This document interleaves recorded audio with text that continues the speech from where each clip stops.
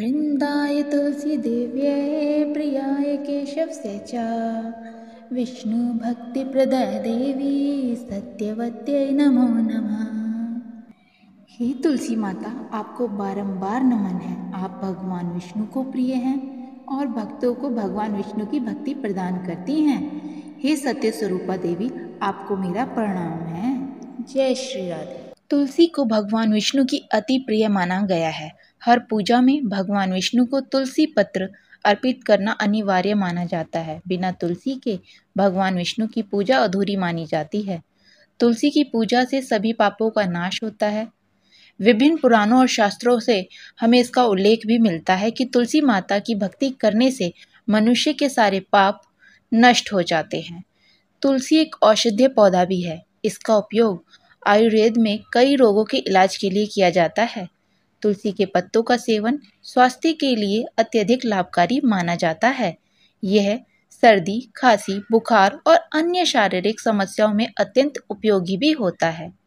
जिस घर में तुलसी का पौधा होता है, वहाँ पवित्रता और सकारात्मकता ऊर्जा बनी रहती है। तुलसी के पौधे को घर के आँगन में लगाना बहुत ही शुभ माना जाता है और इससे परिवार में सुख, शांति की समृद्धि भी होती है। कार्तिक मास में तुलसी विवाह का आयोजन भी किया जाता है। इसे तुलसी और विष्णु भगवान के विवाह के रूप में मनाया जाता है, जिसमें तुलसी जी का विवाह शालिग्राम जी से किया जाता है, जो अत्यंत पुण्यदायी माना जाता है। तुलसी माता न केवल धार्मिक दृष्टिकोण से महत्वपूर्ण है, बल्कि उनका आयुर्वेद और सामाजिक महत्व भी बहुत रखता है। उनकी पूजा से व्यक्ति के जीवन में सुख समृद्धि आती है। आध्यात्मिक उन्नति का मार्ग भी प्रशस्त होता है। सुबह ब्रह्म मुहूर्त का समय सूर्योदय से लगभग डेढ़ से दो घंटे पहले का होता है। ये समय अत्यधिक पवित्र माना जाता है। इस समय उठकर स्नान करें और स्वच्छ वस्त्र धारण करके आप तुलसी जी का पूजन कर सकते हैं। पूजा स्थल और तुलसी जो चारा होता है, उसकी साफ़ सफ़ाई करें। इसे जल से धोकर शुद्ध करें और स्वच्छता का ध्यान रखें। तुलसी के पौधे के पास ब्रह्म मुहूर्त में घी का दीपक जलाएँ। दीपक जलाने का सबसे उत्तम समय ब्रह्म मुहूर्त ही माना गया है।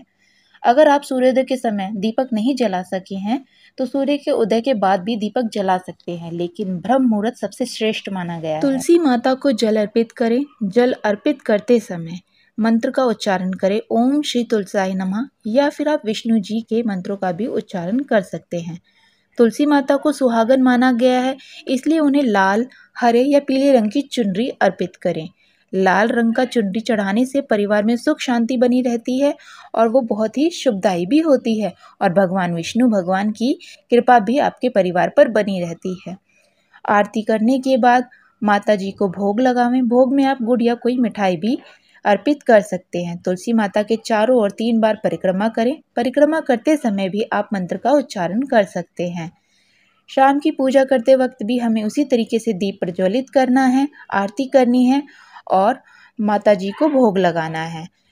रविवार और एकादशी के दिन को हमें तुलसी जी को जल नहीं चढ़ाना होता, उन्हें छूना भी नहीं होता। तो सिर्फ़ उस दिन हम पूजा करते हैं और उनके पत्तों का उपयोग भी हम नहीं करते हैं। तुलसी के पत्ते बिना धोए कभी भी विष्णु जी को अर्पित ना करें। कार्तिक मास में रोज़ तुलसी जी को जल देना चाहिए और उनकी पूजा विधि पूर्वक करनी चाहिए, इसका बहुत ही ज़्यादा महत्व होता है। तुलसी पूजा करने से भगवान विष्णु बहुत ही अधिक प्रसन्न होते हैं। तुलसी माता की पूजा घर में सुख शांति लाती है, धन धान्य लाती है, समृद्धि भी लाती है। साथ ही ये पूजा पापों से मुक्ति दिलाने वाली और जीवन में धर्म, अर्थ, काम और मोक्ष की प्राप्ति कराने वाली मानी जाती है। जब भी आप तुलसी का पत्ता तोड़ें तो उस समय ओम तुलसाई नमा मंत्र का जाप करें, क्योंकि भगवान विष्णु को जो भी हम भोग लगाते हैं, वो तभी स्वीकार करते हैं जब हम उसमें तुलसी पत्र को डालते हैं। तो इसलिए जब भी आप तुलसी माता के पत्तों को तोड़ें तो उस समय उन्हें प्रणाम करते हुए और मंत्र का जाप करते हुए तुलसी माता के पत्तों को तोड़ सकते हैं। और अंत में जब तुलसी जी की पूजा हो जाए तो उन्हें हाथ जोड़कर प्रणाम करते हुए अपने घर में सुख समृद्धि की कामना कीजिए। माता रानी, आपके ऊपर कृपा बनाए। आपको ये वीडियो कैसी लगी? उम्मीद करती हूँ आपको ये जानकारी पसंद आई हो।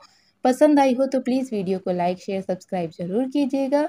जय श्री राधे।